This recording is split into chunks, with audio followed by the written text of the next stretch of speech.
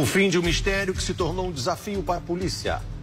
Onde foi parar o homem que ficou conhecido como o sniper da Cracolândia? Ele é um atirador que abandonou o exército para ajudar os traficantes do maior centro de consumo de crack do Brasil.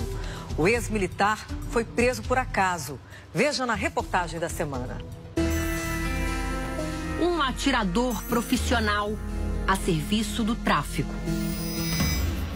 Este é o homem conhecido como Sniper da Cracolândia. Sniper é o nome dado em inglês aos atiradores de elite, normalmente das Forças Armadas. O pernambucano Anderson Alves de Siqueira Bernardino Kunzli, de 29 anos, era soldado e abandonou o exército para atuar como segurança de integrantes da maior facção criminosa do estado de São Paulo. Na última sexta, ele foi preso pela Polícia Militar. Em depoimento à polícia, Anderson disse que fugiu do exército há quase 10 anos por causa do salário baixo. Ele serviu no batalhão de infantaria em Jaboatão dos Guararapes, no estado de Pernambuco, durante um ano e meio. Tempo suficiente para aprender a usar armas pesadas e se tornar um atirador preciso. Eu recebia muito pouco, 600 e pouco, não dava para manter e minha esposa. Você tem noção de armamento? Que, que arma que você operava? FAL. O que mais? Pistola? Não, lá só mexia, tirava serviço com FAL mesmo. Conhecida como fuzil automático leve, o FAL é uma das armas mais usadas pelo Exército Brasileiro. É considerado confiável, preciso e ágil. Ele tem uma habilidade acima da média porque na, no exército onde ele serviu, ele teve um treinamento de manuseio de fuzil e utilizou desse treinamento militar para que pudesse agir na região da Cracolândia, investir contra os agentes de segurança, onde por várias vezes ele efetua disparos. Segundo os investigadores, Anderson e outros comparsas protegiam os traficantes fazendo vigília. Se posicionavam atrás de veículos, na cobertura dos hotéis ou nos andares mais altos dos prédios da região. O atirador também é acusado de ter ferido um fotógrafo durante uma operação policial na Cracolândia em fevereiro.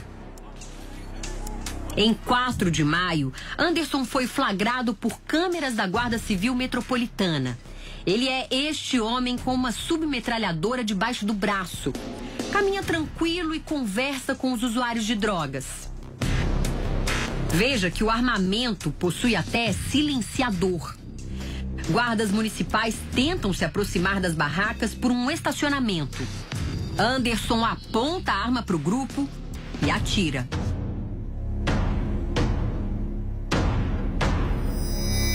O homem gostava de se exibir nas redes sociais.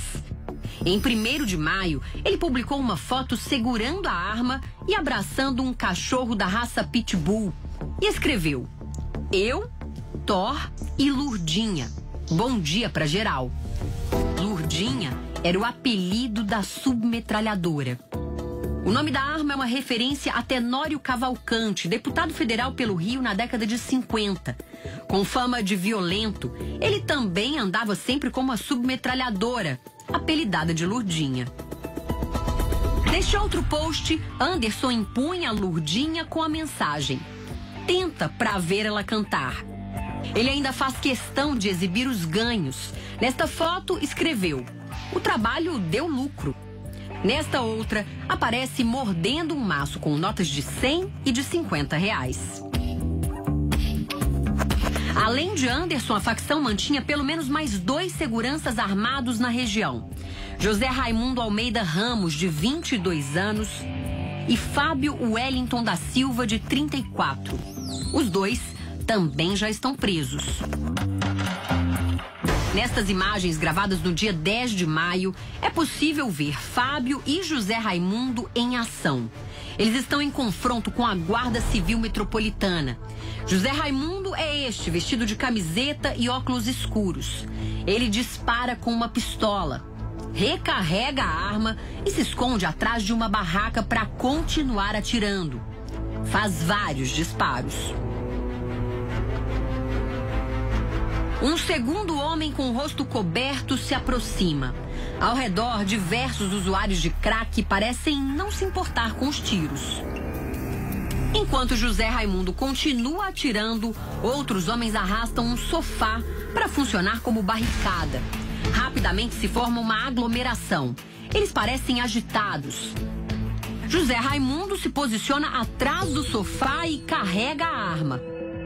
Neste momento é possível ver Fábio. Ele aparece no meio de vários homens com arma em punho e abre fogo. Nas imagens não é possível ver, mas os agentes da guarda revidam e o grupo foge.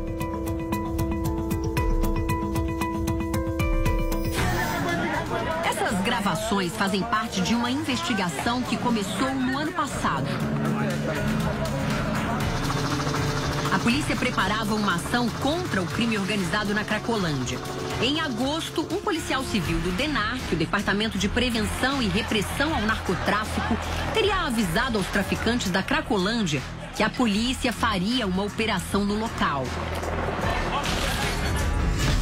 Segundo a Secretaria de Segurança Pública do Estado de São Paulo, o policial responsável pelo vazamento de informações foi preso. E outras 60 pessoas suspeitas da prática de tráfico de drogas também foram detidas. Em 21 de maio deste ano, a polícia realizou uma operação contra o tráfico na Cracolândia. 56 pessoas foram presas. Naquela ocasião, Fábio, José Raimundo e Anderson, os três atiradores, conseguiram fugir. Nesta sexta, Anderson foi preso por acaso. Ele estava nesta pensão que fica a menos de um quilômetro da Cracolândia. Moradores chamaram a polícia por causa de uma briga que acontecia no local. E os agentes reconheceram o bandido. Desde a operação em maio, a ação dos traficantes na Cracolândia se dispersou. Isso porque os dependentes tiveram de mudar duas vezes o lugar em que se reúnem e passaram a ser monitorados mais de perto por viaturas de polícia. Os que já foram presos negam envolvimento com o crime organizado. O sniper da Cracolândia diz que é usuário e que só utilizou armas de mentira nas ações contra os guardas civis metropolitanos. Anderson, que tem várias tatuagens, contou ainda que chegou ao ponto de drogas como tatuador e que também trabalha como instrutor de skate. Além disso, ele tem uma pequena loja de artigos esportivos no centro de São Paulo. O nome longo do atirador, Anderson Alves de Siqueira Bernardino Kunzli, tem uma explicação curiosa. Em São Paulo, ele passou a usar o sobrenome da esposa, Kunzli, para dificultar sua identificação. Tanto é que no mandado de prisão dele, expedido pelo Exército como desertor, não consta o último sobrenome dele, que é Kunzli. Então ele adotou o sobrenome da mulher, com o propósito de se esquivar do mandado de prisão. Neste momento, o atirador da Cracolândia cumpre prisão temporária por 30 dias. Ele responde por deserção do exército e associação ao tráfico. Lurdinha, a submetralhadora que ele usava nas ações, ainda não foi apreendida. A região no centro da capital é considerada o maior ponto de consumo de crack do planeta. A Record TV produziu um documentário inédito para mostrar por outro ângulo como é a vida das pessoas que perderam absolutamente tudo por causa do vício. A narração é da atriz Beth Goulart.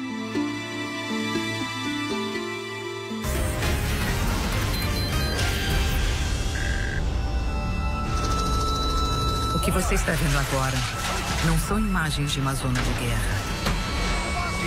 Ali é o verdadeiro inferno. Não são imagens da destruição típica das batalhas armadas. Nada como os conflitos na Síria, na Líbia ou no Iraque. Aqui, guerra é outra. Pode fechar o olho e acordar no outro dia, como você não pode nem acordar. Uma luta permanente contra a dependência química.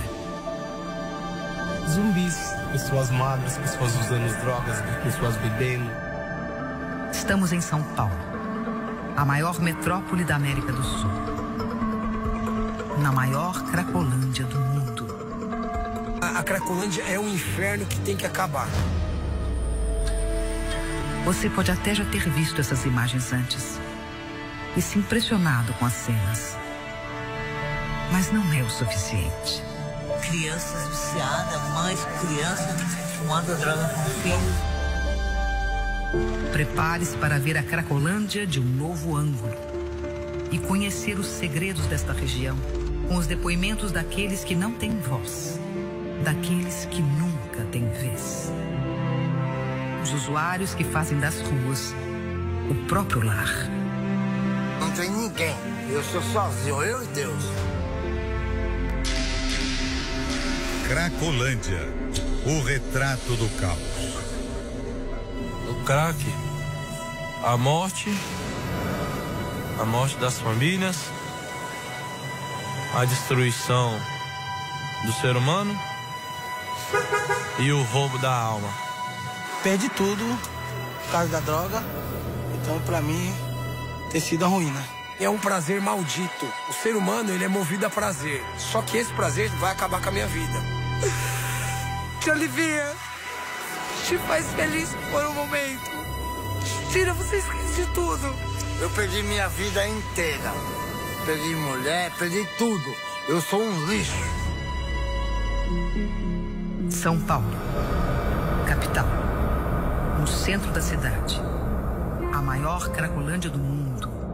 Milhares de pessoas se rendem ao vício. De cima, o que vemos é um formigueiro humano. Pessoas andam em zigue-zague sem parar, mas parecem zumbis. Eu sou usuário, eu uso. Carregam colchões. A fumaça de um churrasco improvisado se mistura dos cachimbos de crack. É o pior lugar do mundo. Móveis são arrastados ao longo da rua. O movimento é intenso. É rua, é um lugar onde não tem lei. Você, você não tem seguro. Você tá ali, é exposto a tudo. Céu limpo, 23 graus. Os dependentes se escondem debaixo dos guarda-sóis para consumir a droga. Cracolândia é só droga, lixo. O lado mais obscuro da dependência química é visto aqui. O bicho prende. Então você às vezes tem até dificuldade de sair dali. À noite, a Cracolândia ganha outros contornos. Nesta época do ano, a temperatura chega aos 13 graus. Para se proteger do frio, fogueira e cobertores enrolados nas costas. Você praticamente é, fica à mercê de. À mercê do vento, né? Na verdade. Você vai para onde o vento te levar. No chão, lixo e todo o material coletado ao longo do dia. E muita gente. Viver na Cracolândia é muito difícil. Quem não é acostumado apanha direto, é muita briga, muitas confusões. Pessoas jogadas no asfalto e exaustas pelo uso de entorpecentes. A Cracolândia é um portal entre o mal e o bem. Do lado de fora da Cracolândia é o bem. Quando você entra do lado de dentro da Cracolândia, é o lado espiritual maligno. Tudo é um pesado.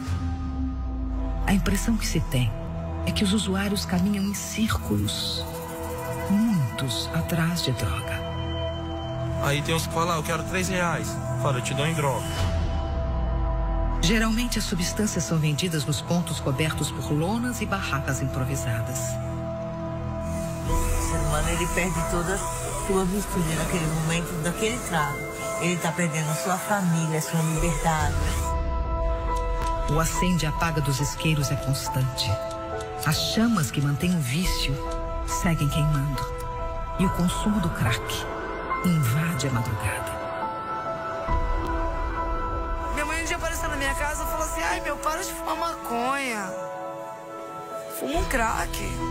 Crack não fede. Na Cracolândia em 1999. Deixa eu experimentar um crack. Vamos experimentar. Ele foi lá. Pegou uma latinha. Furou três furos, tá ligado? Acho que foi a primeira vez dela também. A gente fumou, cara. Primeira apreensão de crack na cidade de São Paulo aconteceu em 22 de junho de 1990. Pensei que era doce, aí depois eu, o traficante falou assim, vem aqui. Ele falou, só colocar aqui você vai comer. Eu falei assim, colocar no cachimbo? Aí foi. Soltou aquela fumaça no meu rosto, já veio me amolecendo. Só que algo ali não tava bem. Falei, tá bom, deixa eu ver como que é isso aí. Foi bem pequenininho. Às vezes também a gente quer descobrir como é que é também, como é que funciona. Cada pedra de crack pesa em média 0,25 gramas e é vendida por 5 reais. Os sentimentos começaram a mudar, as atitudes.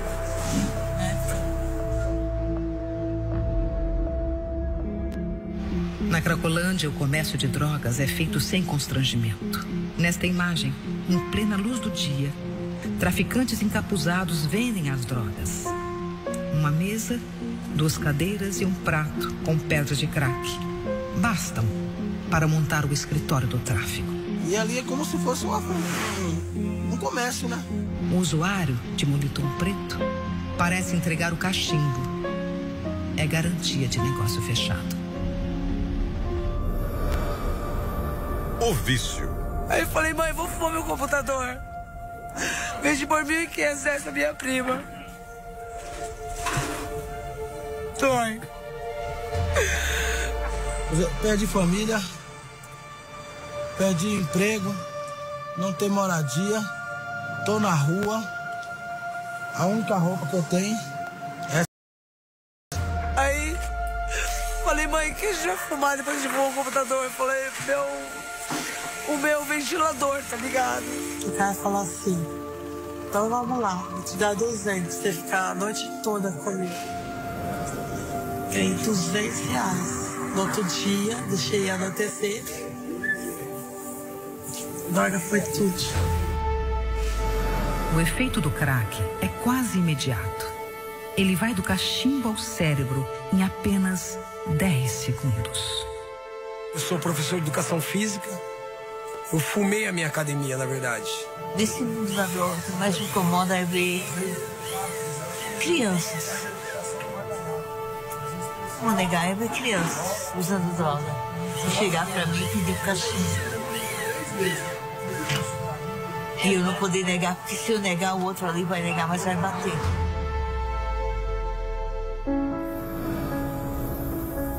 A vida na Cracolândia.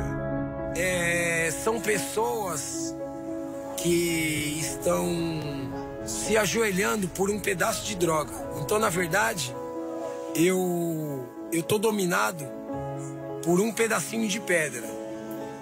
Esse pedacinho ele me comanda. É 24 por 48, não para. É o fluxo. O fluxo, na gíria dos viciados, é onde centenas de pessoas fumam crack ao mesmo tempo. Na Cracolândia, 91% dos usuários de crack são homens e apenas 9% são mulheres. Você vai encontrar pessoas falando sozinha, pessoas que já tá doida, gente bilíngue, várias tribos, várias regiões, estados. Por quem passou pelo sistema carcerário, Carandiru, Carandiru é a Disneylândia perto da Cracolândia. Em média, os usuários têm 36 anos, são de cor parda e cursaram apenas o ensino fundamental. E o que tem de bom lá? A droga. De bom. Pessoas que ainda cantam, né? Pessoas que ainda dão risada, conversam, contam piada, contam histórias. Pessoas que ainda também têm esperança de viver ainda uma vida melhor. O balcão de comércio. Tem um pessoalzinho que vende seu, seus aparelhinhos lá de, de radinho, bijuteria, roupa, calçado. O que, que eu faço? Eu compro todo, qualquer tipo de marmitex, qualquer tipo de comida, roupa suja, rasgada, nova, com etiqueta, sem etiqueta. Eu aceito droga como pagamento, ou eu aceito cigarro, cachaça ou dinheiro em espécie. Cerca de 150 pessoas atuam vendendo droga na Cracolândia. Aí tem um que aparece. Ah, tem um bolo, tem bolacha. Tal, o que, que você quer nela? Ah, eu quero um trago. Né? Eu trago um pedacinho da pedra de crack. Por causa do meu vício, então a qualquer custo eu tenho que entrar na mente da pessoa e vender. Há 27 anos, a Cracolândia se estabeleceu na região da Luz, no centro da maior metrópole brasileira. Até os primeiros meses deste ano, os usuários se aglomeravam entre as ruas Helvétia e Adino Bueno, ao lado da famosa estação Júlio Prestes. Uma área de consumo e tráfico de drogas a céu aberto. Eu virei um alcoólatra, um drogado. Eu sou um doente. Mas no domingo do dia 21 de maio, tudo mudou. Eles encurralaram a Cracolândia inteira. As incursões policiais. Uma ação policial dominou a região. Dezenas de traficantes foram presos e os usuários tirados dali. Quando falaram, a choque tá vindo, meu, eu só escutei os barulhos dos tiros a largura dessa rua era o que tava cheio de polícia. Eles chegaram de surpresa, já explodiram, eu acho que mais ou menos umas 60 bombas de uma, de uma vez só. Polícia Civil e Militar, com cerca de 900 homens e mulheres, participaram da ação. Senti um lixo, nada. Me senti uma pessoa sem dignidade. A incursão policial apenas dispersou os usuários. No mesmo dia, uma nova Cracolândia já havia se formado. O local? A 400 metros do antigo fluxo, na Praça Princesa Isabel. Pra mim, assim, só mudou o lugar. Você perdeu alguma coisa? Ah, eu mesmo não. Eu mesmo não perdi, não. Eu mesmo não. Um marco histórico do centro de São Paulo, construído em homenagem à princesa responsável por assinar a lei que deu liberdade aos escravos, em 1888. 130 anos depois, a praça tornou-se o símbolo da escravidão pelo crack. Ao mesmo tempo que eu adoro ele, eu odeio ele. De acordo com a Guarda Civil Metropolitana, em dois dias, o número de viciados por lá dobrou. Passou de 300 para 600 usuários. Sempre vai mudando para um lado para o outro, sempre tem briga, sempre tem guerra, sempre tem confronto com a polícia. 21 dias depois da primeira intervenção, a polícia voltou a agir. Barracos foram retirados da praça. A montagem de tendas em qualquer lugar do centro da cidade foi proibida. Para as autoridades, uma tentativa de inibir a presença de traficantes em meio aos dependentes químicos. Ah, não, pra mim continua a mesma coisa, porque já não tenho nada. 21 de junho de 2017.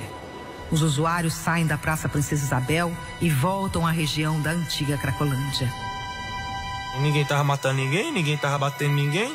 Tava todo mundo fazendo sua situação, de, sua situação ali de boa, seu uso, seu comércio, tranquilo. Lidar com os dependentes químicos que vivem nas ruas é um dos maiores desafios das autoridades. A chamada internação compulsória vem sendo discutida como solução, mas é cercada de polêmica. Será que os maiores afetados por ela sabem o que é essa tal internação compulsória? Eu não sei o que é. O que, que é isso? A internação que é obrigado. Eles te pegam e te obrigam. Internação compulsória, você sabe o que é? A internação compulsória acontece quando o usuário é retirado da rua, mesmo que contra a sua vontade. Ela é feita a pedido de um médico, que deve atestar a falta de controle do dependente sobre as condições física e psicológica. Quem determina esse tipo de internação é a justiça. É nem pensar. Nem pensar. Meu futuro é se internar e procurar a Deus e melhorar a minha vida. É algo que você quer mandar na, Vontade do ser humano, você quer mandar. É como se você criasse um cachorrinho, colocasse na corrente e dizer, vem aqui. Meu tratamento médico seria com ajuda, com ajuda de pessoas que realmente queiram ver o próprio bem da pessoa. A família. Saudade de casa. Solidão. Arrependimento. Na rua, um turbilhão de emoções mexe com a vida dessas pessoas. Faz dois anos que eu não vejo, não sei nada da minha mãe. Quando eu chegava do trabalho, que via meus filhos em casa, assim, que eles vinham, me abraçavam. Acho que foi um dos melhores momentos que eu vivi na minha vida. A, a nossa família fica muito magoada com a gente acaba, acaba perdendo aquele orgulho que eles tinham. Mas a família continua amando a gente, então quer dizer, a gente tem que reconhecer que o erro não foi deles, foi meu. Eu quero voltar pra ela, pros braços dela. Porque um dia ela falou assim, eu te amo. Santo do santo, a fumaça me esconde. Só teus olhos me vê. Debaixo de tuas asas é meu abrigo. Meu lugar secreto. Só tua graça me faz que tua presença é meu prazer. Revolta. Dúvida. Vontade de voltar para casa.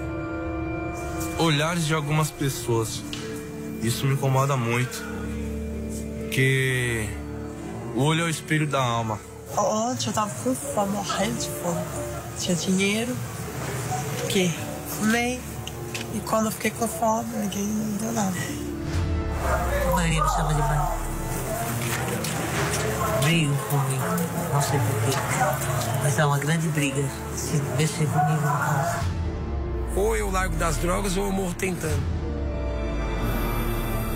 Da rua com carinho. O afeto consumido pelo crack ressurge num olhar e em poucas palavras.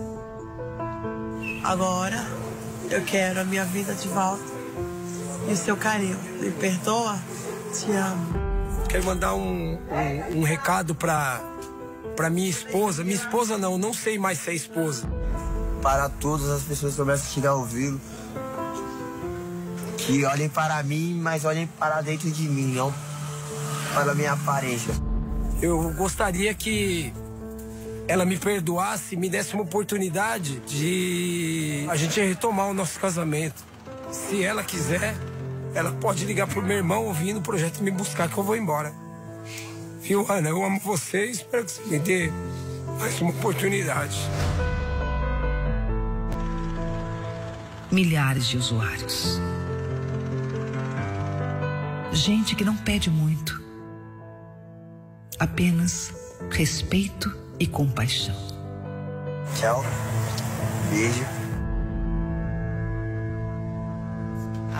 A voz por trás desta reportagem é de uma das principais atrizes da televisão brasileira. Mas no domingo do dia 21 de maio deste ano, Bete Goulart se comoveu ao contar essa história. vendendo droga na Cracolândia.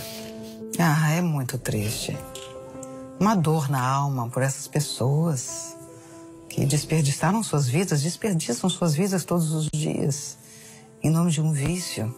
A vontade que a gente tem é de poder ajudar, mas a gente não sabe como. Dar visibilidade a esse problema é uma forma de ajudar, sim, de chamar atenção para esse problema.